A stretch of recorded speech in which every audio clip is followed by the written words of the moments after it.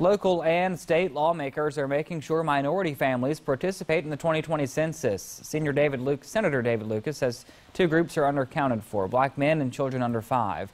Lucas says a common misconception people have is that they'll lose government assistance if they tell how many people live in their home.